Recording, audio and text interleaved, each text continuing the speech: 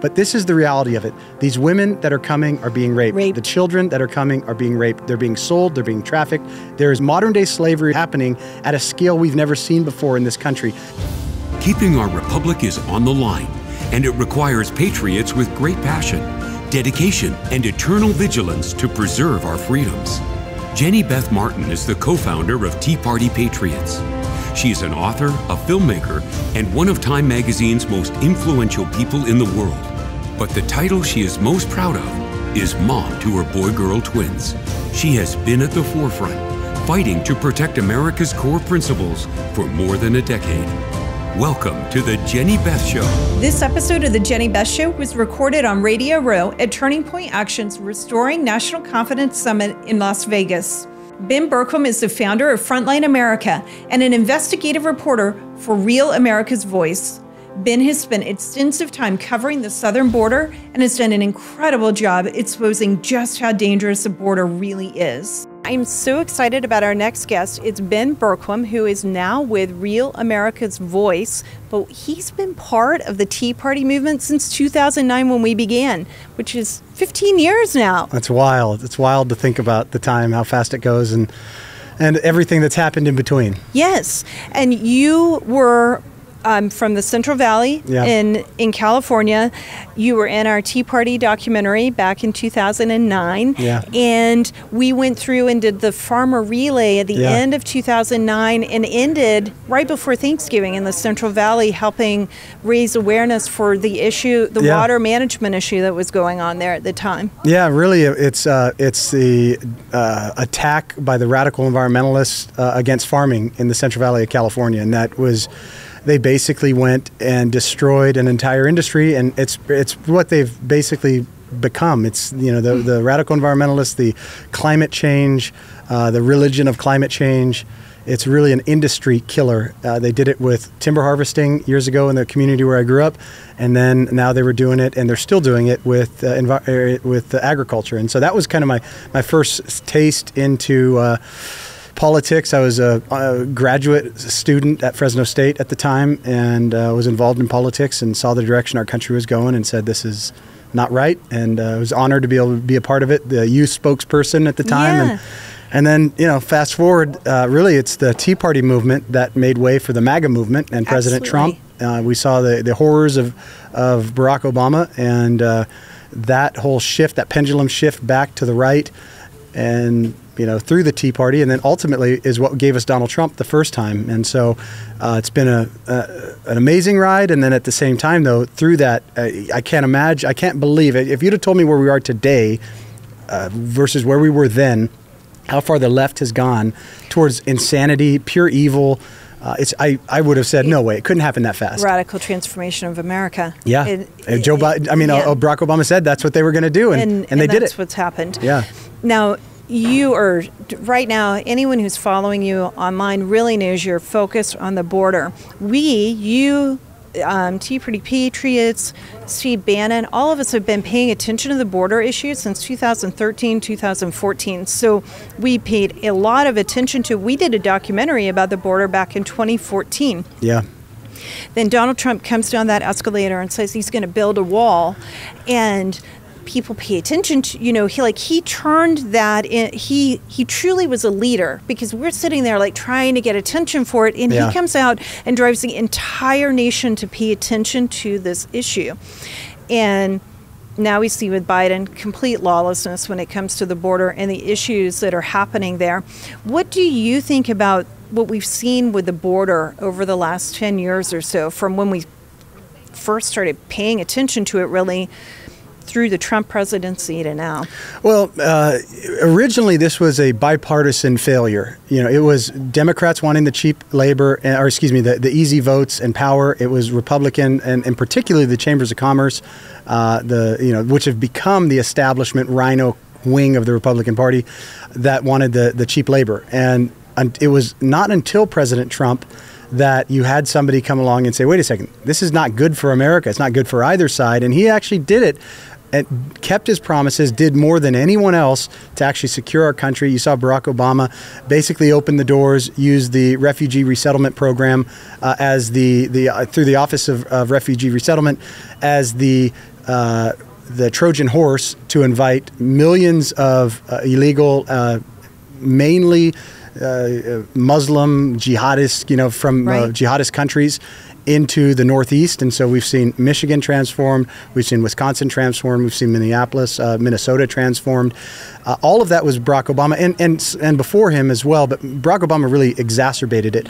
Then President Trump came along and said, wait, this is not good for America. Right. And he was attacked for it, he was demeaned for it from the left, but also from the right, the Paul Ryans of the world. Uh, they did more to, to hamper his movement and to actually stop it, but he still, through executive order, did more than any other president. Uh, and then you see now it, it's gone from a crisis to pure treason. You have Joe Biden, you have Secretary Mayorkas, and you have these this organization of leftist groups across America, uh, NGOs, non-governmental organizations that are not just profiting off the invasion of America, but they are orchestrating it. They are. They are working globally to train people to train game them on or game the immigration system. It's immigration fraud, but it's worse than that because they know what they're doing. And and the real question is that I I, I think most Americans probably don't even think about, but needs to be asked and needs to be investigated, is Mexico is for all intents and purposes a failed narco state how many politicians in America are also now corrupted by the cartels? And that's that's really where some focus needs to be held. When when we take power back, and I pray we do this year, uh, we've got to do some investigations. We've got to first defund the United Nations, the UNHCR, which is the, the catalyst, the driver for most of this, and then all of the other tentacles that go down through Catholic Charities, Lutheran Social Services, Jewish Family Services, and, and a hundred other organizations like El Otro Lado, Pueblo Sin Fronteras, Centro Sin Fronteras, that are all part of this mechanism. It's, it's, a, it's a global illegal alien industry now. It all of those, yeah. they need to be dismantled. They need to be uh, defunded, dismantled, and prosecuted. And that's really the, the next step where we need to go. Because if that doesn't happen, there are no consequences for it. And if there are no consequences for it, it will continue to happen. That's right. Yeah, and this is truly, truly lawless. Yeah, and, and I think in the past we we gave people the benefit of the doubt on both sides and said, okay, well it's you know it's really not that bad. Okay, these guys are using it for political gain. Nobody really wants to fix the problem. Now we see where you have Democrats, open borders Democrats, who are not just ignorant to the issue. They are complicit in the invasion. They are working against America. They they Yeah. know what they're doing is putting America at harm, and that is their they're breaking their number one oath that they took to the Constitution and the citizens of the United States. And it's to me, it's the definition of treason.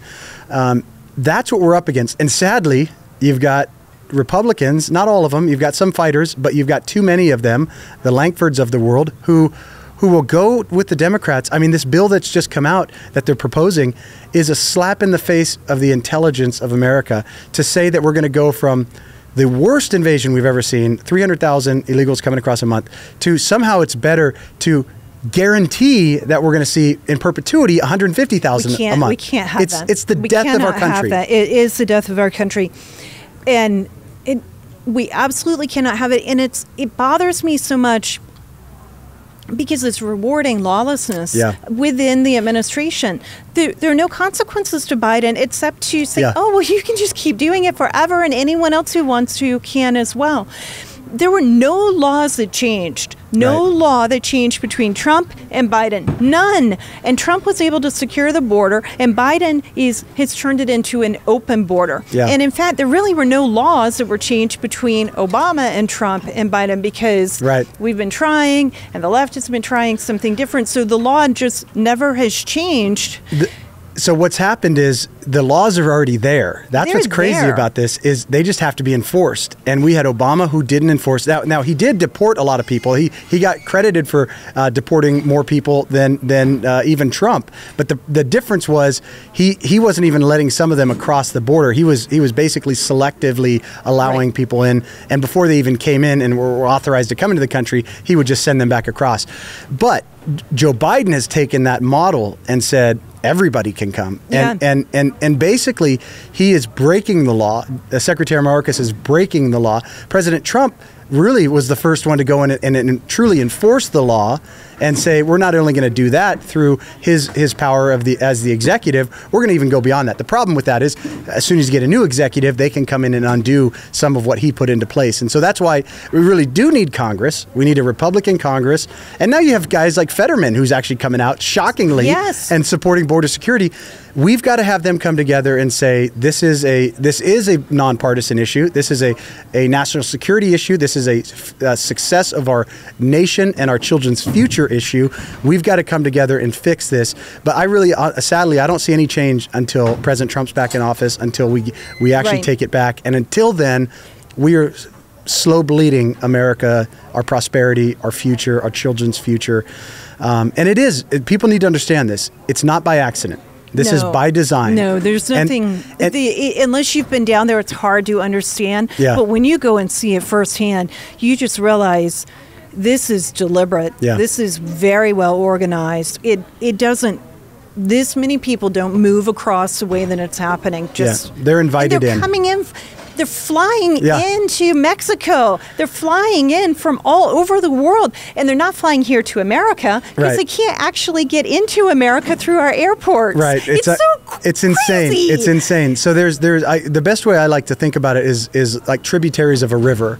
There is this international global illegal immigration industry now where you've got these organizations, NGOs and the cartels now working together in in hundreds of countries around the world with these pipelines uh, and they basically teach people how to come and then as people come then they send word back to their family and they say this is how we did it and so you have some people flying into Brazil some people flying into Colombia some people flying into uh, Uh, Ecuador some people flying directly into Mexico some into Nicaragua and they all get on this pipeline and they ultimately all get distributed by through the cartels to different ports of entry and then handed over to the NGOs that were helping them aiding the cartels along the way. But all of that so we understand all of that. The worst part to me is the fact that the Republicans, seeing all this, that you still have Republicans that don't stand up and say we were going to shut down the border until we sh- or shut down the government until we shut down the border. It's because it. I, you know, I wonder if Senator Lankford has actually been down there and That's a seen good what you and I have seen. Because I, th- I think in his heart, I've met him, and I, I, I think that he's a well-meaning individual who's very, very compassionate. And I think what he thinks he's doing is being compassionate and solving the problem. And what I don't think he understands is that it isn't compassionate, and it's actually going to just keep this going. Ben, it's going to exacerbate it. It's going to make it worse. I've seen, I, I keep having to go back and forth through Phoenix because Yeah. Phoenix is a swing state. And I've already been to the border over the last several several months, and I'm sure I'm going to be back very soon. But um, one of the things that I noticed is eh, every time I go through the Phoenix airport, I see people who are clearly Yeah. just straight from the border Yep.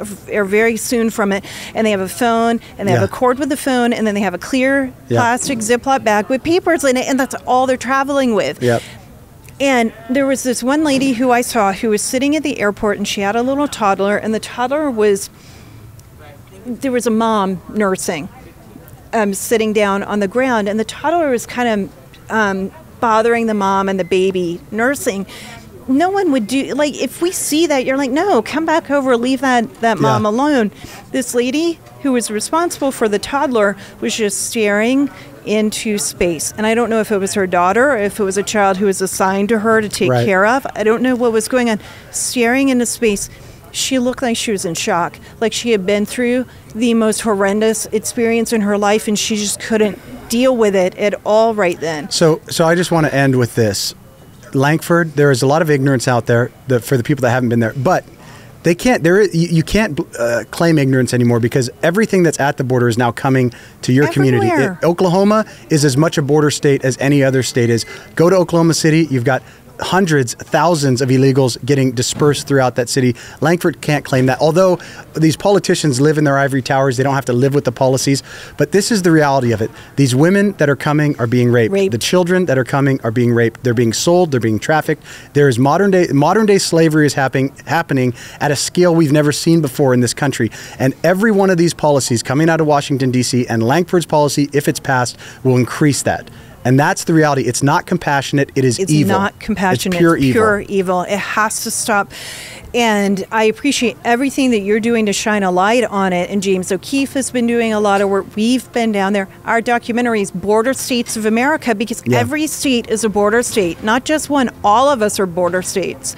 And we have to keep doing this. We've got to secure elections and win elections so Yeah. that we can then get to work to pass legislation to solve Those the are the most two important issues of our generation right now election security and border security. If we don't have those, we don't have a country. Ben, thank you so much for being with me. I really appreciate it. And I look forward to doing more with you and maybe even going to the border with you sometime soon. Looking maybe forward with to it. you and Scott I love it. Let's do some cleanups. All right. All right. Thank you. God bless you. The Jenny Beth Show is hosted by Jenny Beth Martin, produced by Kevin Mooneyhan, and directed by Luke Livingston. The Jenny Beth Show is a production of Tea Party Patriots Action. For more information, visit teapartypatriots.org. If you like this episode, let me know by hitting the like button or leaving a comment or a five star review. And if you want to be the first to know every time we drop a new episode, be sure to subscribe and turn on notifications for whichever platform you're listening on. If you do these simple things, it will help the podcast grow, and I'd really appreciate it. Thank you so much.